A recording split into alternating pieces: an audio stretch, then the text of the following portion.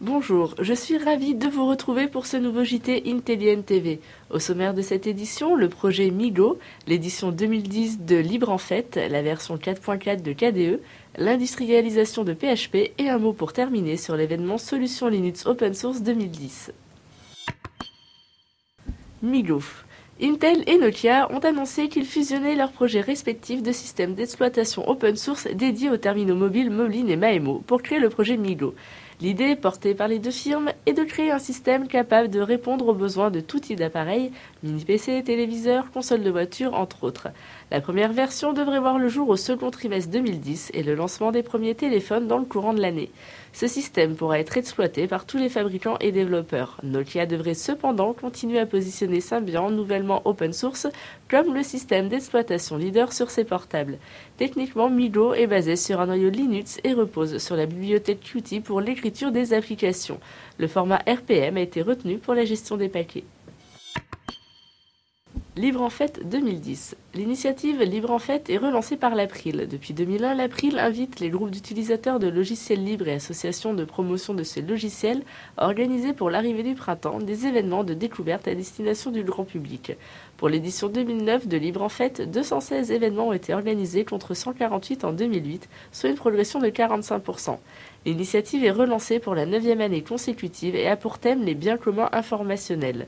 Le référencement d'un événement se déroule au travers de l'agenda du libre. Pour souscrire un événement ou trouver un événement près de chez vous, rendez-vous sur le site de Libre en Fête. L'environnement de bureau KDE sort en version 4.4.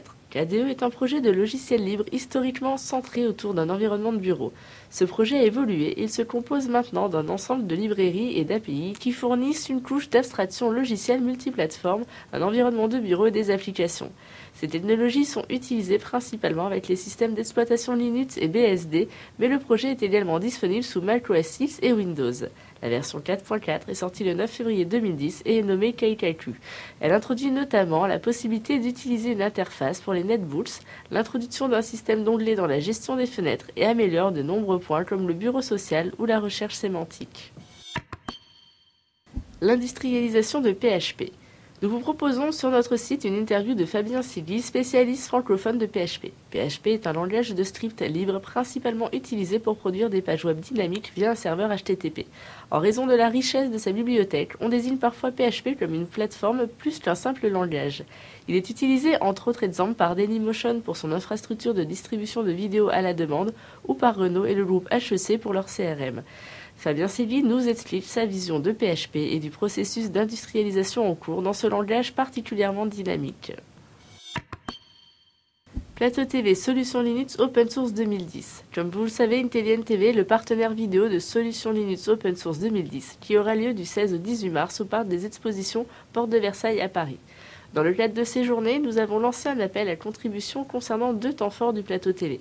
D'abord, une quinzaine de débats auront lieu le 16 et 17 mars en partenariat avec le site d'information Projet Libre. Ensuite, nous vous laisserons la parole dans des interviews le mercredi 17 mars après-midi et le jeudi 18 mars. Nous vous invitons à vous rendre sur le site du salon afin de connaître nos thèmes de débat ainsi que le programme de l'événement qui est particulièrement riche.